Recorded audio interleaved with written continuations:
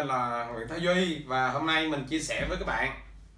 À, cái video thứ ba về cái cách làm sao mà để chúng ta kinh doanh Tết cho nó hiệu quả.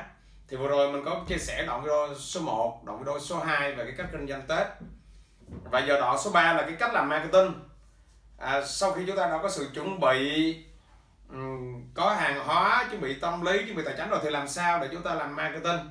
Có nhiều bạn à, vì sao mình ra đoạn video này? Có nhiều bạn cũng muốn ra kinh doanh tết lắm. À, tuy nhiên bạn không có kế hoạch chuẩn bị đàng hoàng thì nó dẫn đến cái gì ạ? Nó dẫn đến là chúng ta làm không có hiệu quả. À, cả một cái tết đó bán có được cái vài đồng à. Ví dụ như sao không hiệu quả. Ví dụ như là bạn để tới tết rồi bạn mới làm. Ví dụ tới ngày 25 tết rồi bạn mới làm. Ví dụ như bạn bán hoa thì tới đó bạn mua một mớ hoa rồi bạn để trước nhà hoặc là bạn để trước chơi ở một khu vực nào đó rồi bạn chờ mọi người tới rồi bạn mới bán thụ động. Cái cách kinh doanh đó là gọi là cách kinh doanh thụ động. Cái cách kinh doanh của những người không biết cách kinh doanh. Hoặc là à, à, bạn định đi bán bánh tét nhưng mà tới hai năm tết rồi bạn mới ờ, bánh tét rồi bạn giới thiệu vài người thân. Ờ, cái cách như vậy nó rất là thụ động. Mà bạn phải có cái hoạch chuẩn bị từ bây giờ. Vậy thì bây giờ các bạn có muốn mong muốn mình à, chia sẻ cho bạn cái cách không ạ? à? Bởi vì mình muốn chia sẻ cho bạn cái cách này. Bởi vì quá nhiều người, họ ra họ làm nhưng mà họ không có sự chuẩn bị. Họ không biết cách marketing, họ không biết cách truyền thông và nó không có hiệu quả. Và chính vì yếu tố đó, các bạn cần phải xem đoạn video này. Các bạn cần phải xem cái cách mình nói. Thì các bạn mới làm kinh doanh được. Tại vì cái tết là cái cơ hội mà người ta chi tiền rất là nhiều nhất. Các bạn thấy à mà chính các bạn cũng vậy. Tết tết là vậy là chính các bạn cũng chi tiền tiền, tiêu tiền rất là là nhiều. Thì quan trọng là các bạn tập trung vào cái không phân khúc nào thì các bạn làm đúng cái phân khúc khúc đó. Nên là thiếu kiến thức, thiếu kỹ năng, thiếu kinh nghiệm thì nó làm cho bạn ờ, giảm đi cái sức mạnh. Bạn làm mà nó không có hiệu quả vậy thì yếu tố thứ nhất mà mình phải lưu ý với các bạn, khi bán hàng thì chúng ta phải lựa hàng có chất lượng mà chúng ta làm. Bản thân cái nguyên tắc đầu tiên trong kinh doanh là phải hàng có chất lượng. Bởi vì nếu mà bạn bán hàng không chất lượng thì sau này mà bạn có muốn kinh doanh cái gì nữa khách hàng cũng bỏ bạn đi qua một ba này mất uy uy tín. Nên các bạn phải tìm món hàng có chất lượng đàng hoàng gọi là kinh doanh tử tế. Kinh doanh đàng hoàng. Mình không có mình không có dùng cái từ kinh doanh có đạo đức. Cái cái từ đạo đức nó nó nó nặng lắm. Mình không có ờ, nói từ đó mà tử tế là được. Nghĩa là à, trong cái khả năng của mình trong cố gắng của mình các bạn thấy cái món hàng là tốt ngon thì các bạn làm à, bản thân mà hàng mà có chất lượng á các, các bạn hình ra điều này chưa thì nó đã bản thân nó nó đã là 50 phần trăm cho marketing rồi đó. bản thân sản phẩm nó chất lượng là nó đã 50 phần trăm nó đạt được 50 phần trăm rồi đó. bởi vì khi mà khách hàng họ mua sản phẩm mà họ bạn họ ăn hoặc là họ thử mà họ thấy ồ nó ngon à, sản phẩm này làm rất là chất lượng thì họ sẽ mua thêm nhiều nữa. Không những thế, họ giới thiệu cho nhiều người nữa. Và không những thế, sang năm, bạn bán lại, bạn quay lại thì cái đàn nó sẵn sàng mua liền. Bởi vì ờ, họ biết bạn làm hàng rất rất là tốt. Hồi hồi kia mình ra đợt tết thì mình ra, thứ nhất là là mình bán nước mắm. Tại vì cái lúc khởi nghiệp, lúc ban đầu của mình cách đây hơn 20 năm là mình bán nước mắm. Thì gần tết mình cũng đi bán nước mắm. Nước mắm ngon. Nước mắm ngon. Ờ, để ăn tết. Nên là hồi đó nước mắm ngon mình lấy từ quê vô chả có thương hiệu gì hết mà người ta vẫn cứ mua. Cứ lít thôi người ta cứ mua lít thậm chí giác nguyên cam vô người ta vẫn cứ mua không có thương hiệu đó. Tại vì quen rồi ngon rồi. Nên người ta cứ đặt hàng thôi. Cách đây vài ngày mình cũng gặp một cái anh à, anh cũng à, anh lơ hy, anh cũng nói là anh lấy nước mắm phan thiết về rất là ngon. Và anh bán thì mình cũng đặt anh một lít ừ, để mình ăn tết. Tại bây giờ mình mình không còn kinh doanh nước mắm nữa. À, thì bản thân nước mắm ngon thì bây giờ mình mua anh huy một lít mà thực sự nước mắm ngon thì sau này mình cứ mình alo ảnh thôi. Các các các, các bạn như vô thì thì thì thì, thì sao ạ? À? cái sản phẩm chất lượng là mặc nhiên khách hàng họ nhớ mãi và họ mua mua mua rồi nó là à, chúng ta kinh doanh phải chọn sản phẩm chất lượng bởi vì nó rất là lợi lợi hại bởi vì nó nó như thế nào à nó mang lại lượng khách hàng tốt cho chúng ta. Cái thứ hai để kinh doanh tết thì ngay bây giờ các bạn phải chuẩn bị hàng mẫu. À ngay bây giờ các bạn phải chuẩn bị hàng hàng mẫu. Hồi chiều đây hồi chiều nay thì có một bạn. À, bạn kinh doanh à, và bạn mang tới bạn tặng cho mình. À, bạn tặng cho mình. Cái sản phẩm hàng mẫu của bạn rất là đẹp. Mình muốn à, lấy cho các bạn xem ở đây nhé. À, mình không để ở đây rồi mình mình mình muốn lấy cho các bạn xem. À, các bạn cho mình một chút để mình đi lấy cho các bạn xem à.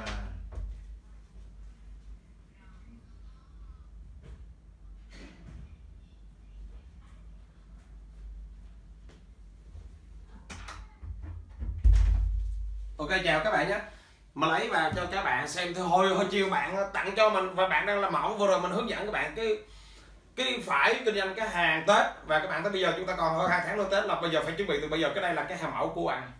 À, bạn này bán bên uh, cà phê và trà. À, các bạn thấy không à, cái hộp của bạn nó rất là đẹp. À, cà phê trà. The Farm. Bạn này có thương hiệu là The Farm. Này của bạn tính các bạn không bạn làm cái hộp rất là đẹp.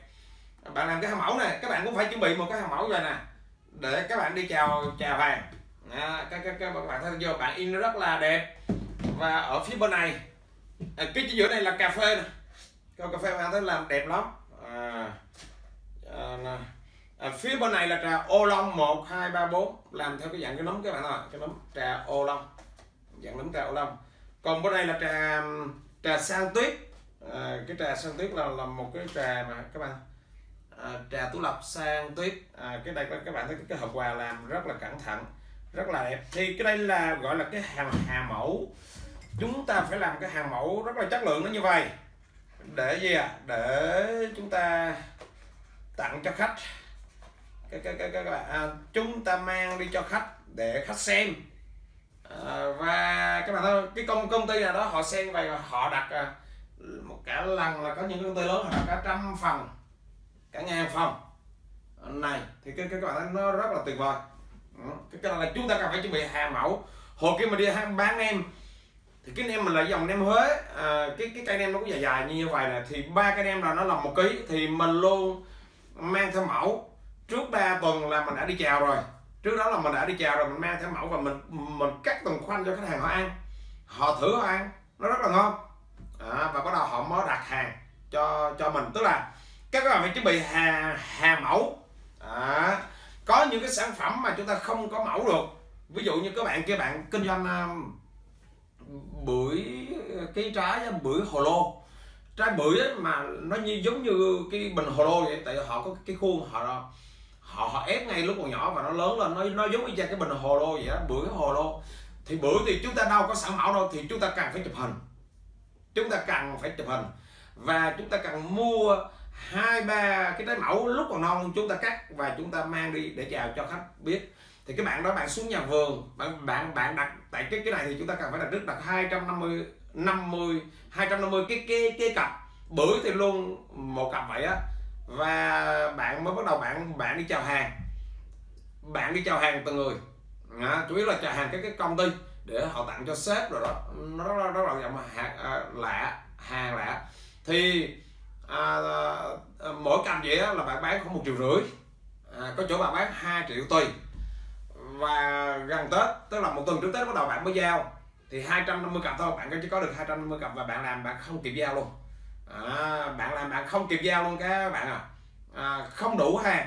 Mà lúc đó muốn lấy nữa thì cũng không cơ được. Muốn lấy nữa thì cũng không cơ được.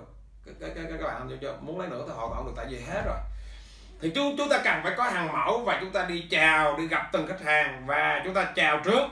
Lúc xưa mình cũng nên bán em vậy mình gặp từng khách hàng. Và nhớ khi đi đi gặp vậy thì các bạn nhớ mang theo hoa đơn luôn. À, các bạn nhớ mang theo hoa đơn luôn. Để mà khi các bạn đặt cọc là các bạn ghi phiếu luôn. Các, các, các, các bạn như vậy ghi phiếu luôn. Phải đặt cọc. Không có hứa tại khách hàng họ, họ không đặt cọc á là họ lại đi mua cái chỗ khác. Các các các, các bạn nhận ra điều này này cho nó là à, một bạn thì bạn bán bên um, bên uh, bên uh, thư pháp. Thì trước đó bạn cũng đi bạn bạn chào rồi bạn có cái mẫu bạn chào rồi có ai cần thì bạn vẽ luôn. Và trước đó 10 ngày thì ở nhà văn hóa thanh niên á họ luôn có một cái gọi là năm nào cũng cũng cũng, cũng có một cái hội chợ gọi là hội chợ nhà văn hóa thanh niên cái hội chợ tết. Thì chuyên là các ông đồ chuyên vẽ về thư pháp. Thì bạn cũng muốn một gian hàng ở đó thường thực sự là bạn là người không biết vẽ thư pháp. Bạn bạn mướn một cái ông đồ ở đó và cùng với bạn ăn chia. À, và sau 10 ngày đó thì bạn kiếm 100 triệu mỗi ngày bạn hơn 10 triệu. À, bạn bạn kiếm ờ, hơn 10 triệu sau khi ăn chia xong. Các bạn cái cái cái lượng người làm rất là nhiều làm làm rất là lớn. Và khi các bạn đã chuẩn bị hàng mẫu đồ mọi thứ là xong rồi thì các bạn phải làm truyền thông. Muốn có nhiều khách hàng thì bạn phải truyền thông. Truyền thông nghĩa là là chúng ta đi nói cho nhiều người biết về mình. À, các bạn cần phải làm gì? Các bạn cần phải lấy quyển sổ và cái cây viết ra. Bạn cần có quyển sổ và cái cây viết. Bạn ngồi bạn ghi chép ra. Bạn ghi ghi chép ai? Phải cùng có quyển sổ và cây viết. Không có là không nhớ ghi ai. Chúng ta quen ai họ tên ai số điện thoại họ là là gì. Và trong cái danh bạ điện thoại các bạn là luôn luôn có. Các bạn ghi ra ghi ra ghi ra. Để làm làm làm gì? Để chúng ta gọi điện thoại cho từng người một. À, chúng ta có thể là hỏi họ có rảnh không? Chúng ta lâu ngày có không gặp. Tới chơi. Và khi tới chơi bạn mang theo hàng mẫu thì bạn chào luôn. À, hoặc là những ai ở xa hơn thì bạn gọi điện thoại. À, và bạn mới giới thiệu là năm nay bạn có cái bán món quà tết như vậy. Món quà tết bạn rất là tuyệt vời. Và nếu mà bạn cần thì vào cái website này xem bạn làm một cái trang web hoặc là vào cái facebook này xem. Bạn à, bạn làm chưa? Còn những người ở gần thì có thể là chúng ta mang mẫu tới. Tốt nhất là chúng ta đi tới cho người chúng ta mang mẫu tới cho họ thử luôn à, họ xem trực tiếp luôn thì nó dễ hơn. Xa quá thì chúng ta mới mới làm qua online. À ok nên là cái quyển sổ ghi từng người từng người ra và đi liên hệ từng người rất là quan trọng. Cái thứ hai là à, các bạn xem cái danh sách email lục toàn bộ cái bộ nem cạc của mình ra và chúng ta có email và chúng ta viết cái nội dung email. Chúng ta gửi cho từng người một. À, và chúng ta nói rằng là và chúng ta phải biết cái cách viết nội dung email chứ không có phải là chúng ta cứ viết uh, theo cái kiểu là à em bán hàng tết đây viết không có biết cách viết. À, cứ nói là em bán hàng tết đây à, em đang bán nem đây anh mua vô cho em. Nói vậy thì ai mà mua? À, mà ví dụ ở trong này mình có viết nè à, mình ví dụ là chào anh Thái Duy em tên là Trâm Hoa Tigon anh có nhớ em không? À, em luôn nhớ mãi cái kỷ niệm khi đến lớp khởi nghiệp à, tại B Training và có dịp gặp anh khi đó anh gọi em là Trâm bán hoa và từ hôm đó em có một cái nickname mới đó là trăm bán hoa. Thật thú vị em rất thích cái nickname này. Bởi vì nó làm cho nhiều người dễ nhớ về em mọi người dễ hình dung về em. Ok chưa? Và bắt đầu từ đó em dùng cái phương pháp này và em bán hoa và em giao hoa tươi tặng nhà. Thì anh có nhận ra hiện tại trên thị trường có rất có rất là nhiều mặt hàng bán hoa tết và làm cho anh rối. À, với kinh nghiệm bán hoa chân tết cho đến nay đã được 7 năm và riêng năm nay em bổ sung thêm mặt hàng là giao chậu hoa à, đến tận nhà luôn. À, các các bạn nhìn dung ra điều này chưa? À, giá cho hoa đến như nào? Và cho đến bây giờ thì em đã được có 107 khách đặt hàng rồi. À, với số lượng hơn 300 chậu. À, trung bình mỗi người đặt 3 chậu rồi nè đây là một điều nó khá tuyệt vời. Đây là điều khác vời. Em cũng tin anh ủng hộ em trong việc mua quà tết cho bà con. Các mối quan hệ anh trong ngày tết em tự tin khẳng định với anh rằng những ai nhận món quà này từ anh đều vui và thích thú bởi nó nó quá đặc biệt. À, bên dưới là hình ảnh của em. Em gửi kèm sản phẩm ngày giao hàng khuyến mãi đặc biệt trong ngày tết. Cảm ơn anh rất nhiều khi anh đã ủng hộ em. À, ví dụ là vừa rồi mình viết một cái email đó là như vậy. Nếu mà mình là người bán các bạn có thể là lấy bất kỳ một cái nem cạc nào ra bạn thấy email uh, ví dụ email của anh đó là tên là Nguyễn Thái Duy bạn nói à chào anh Nguyễn Thái Duy. À, anh có nhớ là lần đầu tiên anh chị em gặp nhau trong cái một cái hội chợ không? À, à và ngay lần đó anh em mình nói chuyện với nhau và anh đã cho em cái cái cái nem cạc và cho tới giờ anh em vẫn giữ cái nem cạc à, và em vẫn luôn nhớ cái cuộc nói chuyện đó với anh cái đó là một cái kỷ niệm rất rất là tuyệt vời. À, và hôm hôm đó em cũng nhớ là em giới thiệu với anh à, là em là người đi bán nem. À, em kinh doanh nem. Và hôm nay nhân cái dịp tết này thì em sản xuất cái dòng nem đặc biệt à, để cho bà con ăn tết. Và hiện tại em cũng đã đi chào hàng và cũng đã hơn 30 người à, đã đặt hàng của em rồi và trung bình mỗi người đặt khoảng 3 kg có người đặt 4 kg có người đặt 5 kg bởi vì sao ạ? Bởi vì ngoài cái việc à, khách hàng họ đặt cho gia đình của họ đó thì họ còn đặt để tặng cho khách à, tặng cho bà con tặng cho ông bà. Bởi vì một năm chúng ta chỉ có một ngày tết đó mà. Và hôm nay em cũng gửi anh cái email này để à, báo với anh rằng là tụi em có bán họ tết đó và anh có nhu cầu mua nem ăn tết không? Anh có nhu cầu Ờ, mua nem để tặng cho khách hàng thân thuộc của anh không? Anh có nhu cầu mua nem để tặng cho ông bà của mình không? Nhanh chóng. Và em tin rằng anh sẽ ủng hộ em. À, ở bên dưới là hình em của em. À, cái chương trình chiết khấu khuyến mãi. Và anh cần một cái thông tin gì thì anh cứ liên hệ với em. À, em sẽ giúp anh. Và nếu anh cần em mang hàng mẫu tới thì anh sẽ mang hàng mẫu đến cho anh thử em cũng có tặng em khuyến mãi cho anh nếu anh cần thì anh cứ alo em thì em sẽ tặng cho một cái cái em anh dùng khuyến mãi trước. À, các, các các bạn dùng chứ tức là chúng ta phải viết một cái email nó rất là hấp dẫn. Chứ không phải là chúng ta à, viết à, à em à, kinh doanh em nay anh duy mua ủng hộ em nhé. Thì các bạn nói như vậy thì thì nó không có cái gì hấp dẫn hết. À, hoặc là các bạn qua Facebook trên Facebook ai cũng có ít nhất là 500 anh em hết. Bạn bè chúng ta có luận lên Facebook à, và có thể bây giờ chúng ta chủ động luôn chúng ta kết bạn với những người ở gần chúng ta ở trên Facebook ok chưa? Và chúng ta viết à, những cái quảng cáo ở trên Facebook. À, hàng ngày chúng ta viết những cái bài từ đây cho tới gần Tết luôn. Viết bài chuyên về chia sẻ về nem nếu mà bạn bán về nem nếu bạn về hoa thì bạn viết bài về hoa. À, các, các các bạn nhung ra chưa? Nếu mà bạn bán uh, uh, tranh thư pháp thì bây giờ chúng ta viết bài về tranh thư pháp và nếu mà bạn bán cái mặt hàng như vậy thì bây giờ bắt đầu các bạn viết bài và các bạn tương tác với những người trên facebook và các bạn inbox từng người luôn. Để chúng ta mới có khách hàng ngay từ bây giờ. Ngay bây giờ còn ai tháng nữa tới tết và các bạn phải làm từ ngay từ bây giờ. Hoặc là qua trang zalo các bạn có bạn bè trên trang zalo và các bạn tương tác với họ qua zalo. Giống như cái cách mình tương tác bạn qua facebook.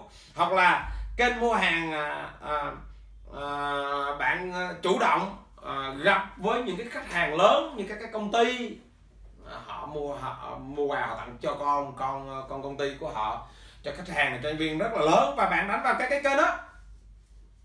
Đừng có ngại một cái gì hết. À, và nếu bạn nào mà có những cái món hàng mang tính cái cá nhân hóa thì nó rất là tuyệt vời. Ok, ok giờ các bạn tham gia vào cái cái rất cái, cái hội cái cái buổi offline. Nói chung là bạn tương tác hết.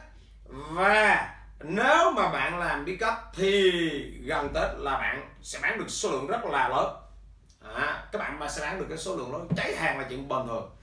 À, năm vừa rồi mình nhớ là mình hướng dẫn cho một group bốn bạn trẻ à, kinh doanh à, hoa giấy. À, và trong vòng mấy ngày cuối tết đó các bạn bán cả ngàn chậu hoa giấy. Ừ, các các bạn thấy tuyệt vời lắm bạn bán hoa giấy rất là nhiều. Năm nào có một cái đợt à, cũng cách đây à, 7 năm trước rồi Ờ, mình hướng dẫn cho một bạn kinh doanh mang mang tay. Các bạn biết cái mang tay mà. Đó. và cũng bạn cũng bán trước này có người thì mua một ký mang tay có người mua hai ký mang tay ba ký măng tay và năm ngày cuối tuần năm ngày cuối cùng của tết mới giao. À, và bạn bán được quá chừng luôn. À, nhiều lắm. Ok ok à, và cái mùa năm, năm tết đó là bạn cứ năm ngày cuối cùng của tết là bạn đi giao mang tay các các bạn thấy tuyệt vời mà nó rất là phong phú. Có một bạn thì kinh doanh cây cảnh.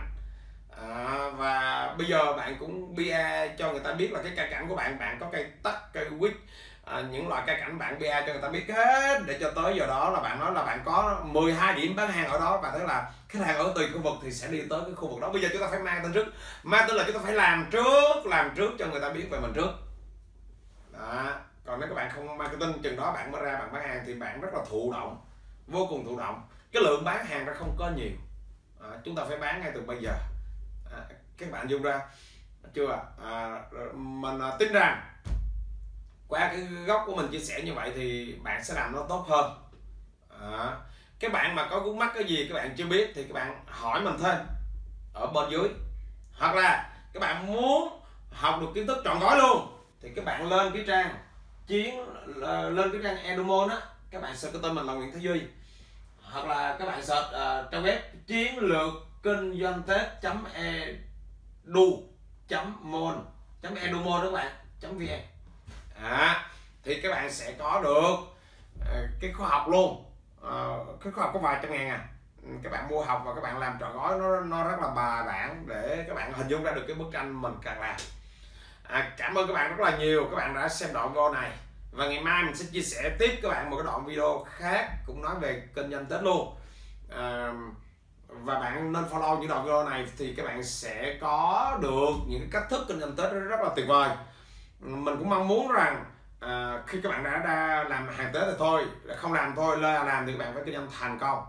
À, cái này cũng là cái tiền đề à, để test cái khả năng kinh doanh và khởi nghiệp của các bạn. À, hãy làm nha các bạn và đừng có bỏ lỡ cái cơ hội này cảm ơn các bạn rất nhiều. Các bạn đã xem đoạn video của mình. Bye bye, các bạn.